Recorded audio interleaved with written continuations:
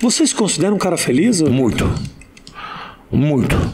Eu sou muito privilegiado e muito feliz. Então isso aqui, ninguém vai me tirar isso nunca. Que momentos que você se sente um cara feliz? Que você fala, ah, isso aqui não é problema. eu- eu- você é diariamente feliz ou você acorda de mau Diariamente humor? feliz.